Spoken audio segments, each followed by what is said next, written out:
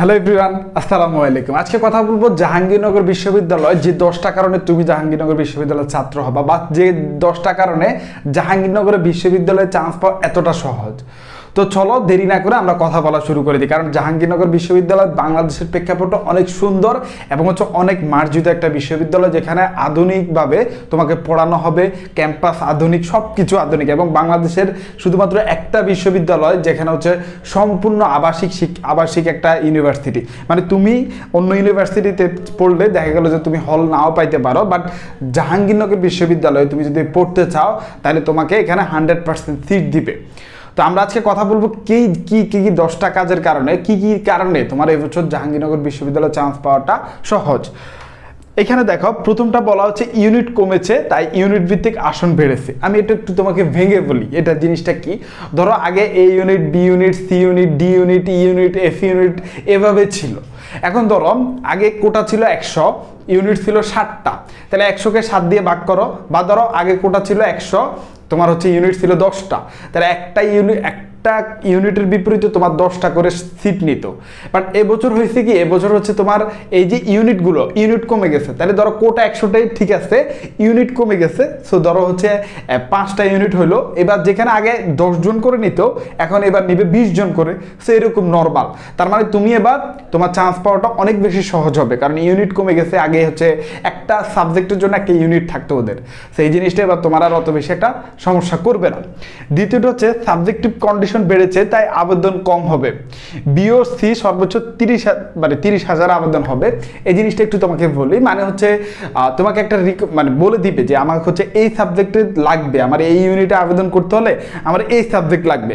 এখন by any ধরো ইসলাম শিক্ষা বা ইসলামিক মানে হিস্ট্রি অ্যান্ড কালচার বা ইসলাম, এইসব সাবজেক্টগুলো যে যদি তোমাকে বলে দেয় যে তোমার ইন্টারমিডিয়েটে বা মেট্রিকে ইসলাম শিক্ষা সাবজেক্টটা থাকতে হবে। এখন ধরো তোমার যাদের নাই তারা তো বাদ পড়ে যাবে। সো তোমার আছে, তুমি সহজে আবেদন করতে পারবা। আর এই কারণে তোমার আবেদনও কম পড়বে। আবেদন কম পড়লে কী হবে? তোমার চান্স পাওয়াটা তত বেশি সহজ হবে। তিন নম্বরে এসে বলল, রেজাল্টের উপর মাত্র বিশ নাম্বার, মূল প্রতিযোগিতা হয় পরীক্ষার উপরে। মানে তোমার এখানে সবচেয়ে মজার বিষয় যেটা যেটা আগে ঢাকা বিশ্ববিদ্যালয়ের সাথে অনেক বেশি জামালা হইতো বাট এবছর কিন্তু ঢাকা বিশ্ববিদ্যালয়ের এটা সেম মানে তোমার পরীক্ষার উপরে তোমার মূল্যায়ন হবে। তুমি আগে কি করছ, না করছ, সেটা অতটা বেশি ইম্পর্টেন্ট না। তুমি যদি ভালো পরীক্ষা দাও খাতায়, ওই এক্সাম সময়ে, তাহলে তুমি চান্স পেয়ে যাবা। মাত্র বিশ নাম্বারে তোমার হচ্ছে জিপিএ থেকে কাটবে। সো জিপিএ খারাপ হলেও কোনো সমস্যা নাই। গণিতের উপর নাম্বার কমেছে, এখন বি ইউনিটে গণিত মাত্র পাঁচ নাম্বার আর সি ইউনিটে গণিত নেই। মানে হলো, আগে কিন্তু জাহাঙ্গীরনগর বিশ্ববিদ্যালয়ে একটা আতঙ্কের নাম ছিল হচ্ছে গণিত। তুমি যদি গণিতে ভালো না করতে পারতা, তাহলে তুমি চান্স পাইতা না। এখন কিন্তু গণিতের নাম্বারটা কমায় আনলো। গণিতের নাম্বার কমায় এনে বি ইউনিটে মাত্র পাঁচ নাম্বারের ম্যাথ আসবে আর সি ইউনিটে কোনো ম্যাথই আসবে না। সো দেখো কতটা সহজ হয়ে গেছে। তোমার আলাদা করে আর ম্যাথ শিখতে হচ্ছে না। তো এই জিনিসটা তোমাকে মানে জাহাঙ্গীরনগর বিশ্ববিদ্যালয়ে চান্স পাইতে খুব বেশি হেল্প করবে। আর এই কারণে তুমি জাহাঙ্গীরনগর বিশ্ববিদ্যালয়ে চান্স পাবা। শেষ হচ্ছে বিষয়ভিত্তিক পাস মার্কস নাই। ধরো হচ্ছে তুমি কমার্সের স্টুডেন্ট তুমি বাংলা, ইংরেজি, হিসাব বিজ্ঞান, ব্যবসা সংগঠন, ব্যবস্থাপনা ফিন্যান্স এখানে তোমাকে যেটা ঢাকা বিশ্ববিদ্যালয় হয় যে ইংরেজিতে আলাদা করে পাস করতে হবে। এখানে কিন্তু সেম জিনিসটা হবে না। তোমাকে হচ্ছে সবগুলো উপরে অ্যাভারেজে একটা নাম্বার পেলে তুমি হয়ে যাবা। যে জিনিসটা তোমার জন্য খুব বেশি সহজ হবে।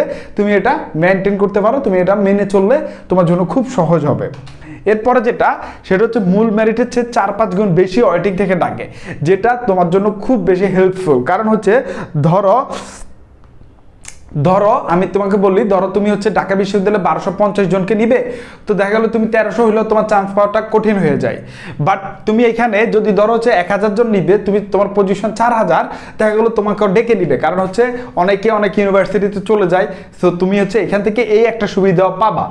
এরপর হচ্ছে ছেলে ও মেয়েদের জন্য আলাদা সিট এবং মেরিট লিস্ট মানে হচ্ছে ধরো ছেলেদের জন্য পঞ্চাশটা, মেয়েদের জন্য পঞ্চাশটা। এখন এই পঞ্চাশটার ভিতরে মেয়ে পঞ্চাশ জনে নিবে, ছেলে পঞ্চাশ জনে নিবে। এখানে হচ্ছে এমন হবে না যে ছেলেদের জন্য একান্ন জন, মেয়ে উনপঞ্চাশ জন, সেই দিক থেকে ছেলেরাও একটা সমান সুবিধা, মেয়েরা একটা সমান সুবিধা পাবা। রিটার্ন নেই শুধু এমসিকিউর উপর পরীক্ষা। অনেকের আমরা যারা ঢাকা বিশ্ববিদ্যালয়ে কাজ করি, আমি দেখছি রিটার্ন নিয়ে অনেক সমস্যা থাকে, ঠিক আছে? রিটার্ন নিয়ে অনেক সমস্যা থাকে। যেমন হচ্ছে আমি তোমাকে বললি, সেটা হচ্ছে যারা এমসিকিউতে ভালো করে, তারপরও রিটেনে খুব বেশি খারাপ করে ফেলে। সো এই জিনিসটা থেকে বাঁচতে হলে আমাদেরকে যেটা করতে হবে, সেটা হচ্ছে আমরা রিটেন থেকে মানে সরে আসতে হবে, সেই জিনিসটা কিন্তু জাহাঙ্গীরনগর বিশ্ববিদ্যালয় নেই।